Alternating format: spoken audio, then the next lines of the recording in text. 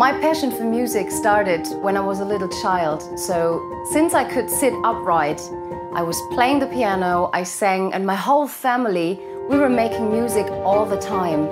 So music is my life, music is my passion. When I play music, it's like my whole body is like shivering and full of energy and I want to bring out the passion and the energy to the people. I want to make them feel the way I feel when I make music. So the love about the music, the goosebumps you have when you are in a performance, this is what I want to bring to the people.